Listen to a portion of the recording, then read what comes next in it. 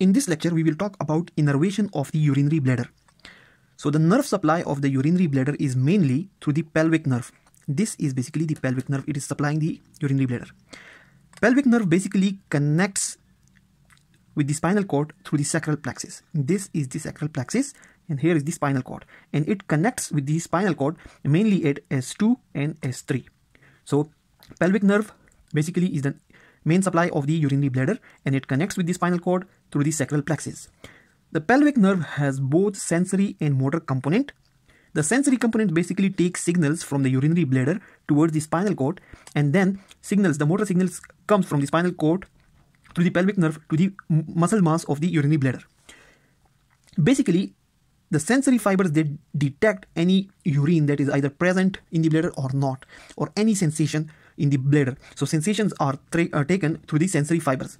The motor fibers that are present in the pelvic nerve are parasympathetic fibers. The motor as we discussed that there are sensory and motor fibers in the pelvic nerve. But the motor fibers are basically parasympathetics and the sensory fibers are not parasympathetic. Apart from the pelvic nerve there are two more innervations of the urinary bladder.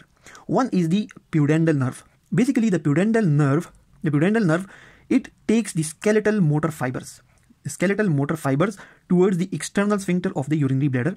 These skeletal motor fibers are a kind of somatic nerve and they basically supply the external sphincter and due to the somatic nerve fibers or due to the skeletal motor fibers, the human beings have voluntary control over the external sphincter.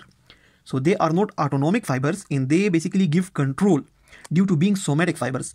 So, so pudendal nerve is important because with the help of pudendal nerve, these skeletal motor fibers, which are a kind of somatic fibers, they innervate the uh, uh, external sphincter and the human beings are able to voluntarily control the uh, the urination process or you will voluntarily allow the urination. So it it's very important to give control. Another kind of innervation to the urinary bladder is sympathetic nerve. So basically sympathetic supply of the urinary bladder is with the help of hypogastric nerve. In the hypogastric nerve, mainly coming from the L2 segment of the spinal cord, it comes and innervate the urinary bladder, but the sympathetic fibers they are more important in innervating the urinary uh, sorry the blood vessels present in the urinary bladder they may be important in detecting some of the sensations like pain or fullness of the urinary bladder but mostly they supply the blood vessels and they are not supplying the muscles of the urinary bladder on the other hand the motor fibers the motor fibers which are basically parasympathetic fibers coming in the pelvic nerve they basically supply the detrusor muscle the detrusor muscle. They basically uh, the, these parasympathetic fibers they come they basically uh, come to the pre, uh, preganglionic region. They come to the preganglionic region in the urinary uh, bladder. And then the postganglionic fibers they innervate the detrusor muscle.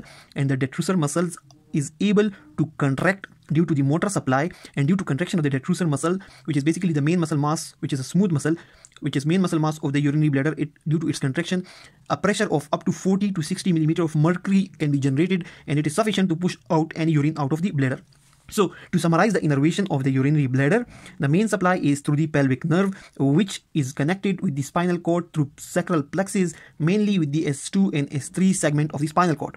And it has both sensory component and the motor component, but its motor component are parasympathetic nerve fibers, and these parasympathetic fibers they initially uh, go into the muscle mass they innervate the preganglionic fiber then the postganglionic fibers they they innervate the muscles the detrusor muscles which are making the urinary bladder.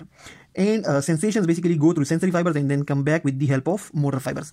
Another important nerve is the pudendal nerve which carries skeletal motor fibers from the uh, uh, skeletal muscle fibers which are basically a kind of somatic nerve fibers and they innervate the external sphincter which give voluntary control to the human being over their external sphincter so that they can allow whenever they want to pee and uh, finally there is sympathetic fibers coming in the hypogastric nerve mainly from the L2 segment of the spinal cord. They mostly supply the blood vessels of the urinary bladder and uh, sometimes they are important in sensation like fullness and pain but otherwise they have no relation with the, the muscle mass and they are not supplying any muscles.